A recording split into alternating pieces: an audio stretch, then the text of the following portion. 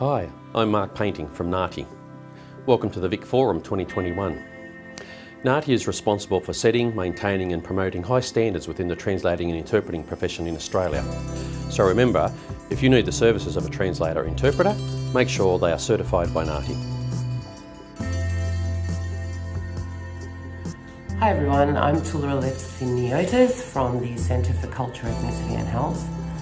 So at CEH, uh, we provide professional development and resources to agencies to help improve their response to people from refugee and migrant backgrounds. Two examples of how we do this uh, through our Speaking COVID-19 workshops. We support language professionals and bicultural workers to understand all things COVID. Um, we do this so that we can help them communicate this to their communities um, in simple ways and in their language. Another thing we do is we manage health translations on behalf of the Victorian Department of Health. Uh, this is where people can access over 23,000 health and wellbeing resources in over 100 languages.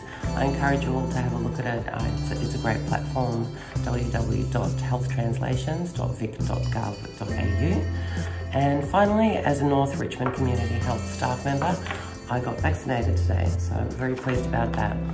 Thank you, Polaron. Um, we're very proud uh, Vic Forum partner this year again.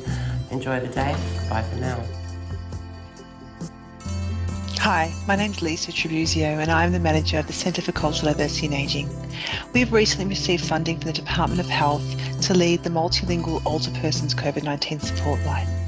The support line gives callers information about COVID 19, dementia supports, and access to aged care services, including home care and residential services. It is available in six languages Arabic, Cantonese, Mandarin, Greek, Italian, and Vietnamese.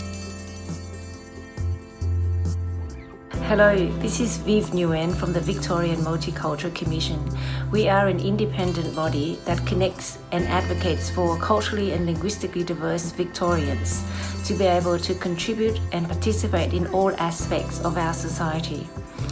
A particular initiative that we are working on is to understand what Victorians would like to see Victoria looks like in 2030. And I really encourage you to join us online, in person, give us a call, send us an email in whichever way, shape, or form that, that suits you to tell us what you think Victoria should look like in 2030. Thank you. Hello, Victor Perton here from the Centre for Optimism. And what we'd like to share with you is our new animated micro credential called The Habits of an Optimist. We have some of the greatest talent of multicultural Australia and the world recording their voices on what makes you more optimistic and turning it into an entertaining educational product that one British government official said was the best hour he spent in the whole of lockdown. We'd invite you to try it and share it with your friends.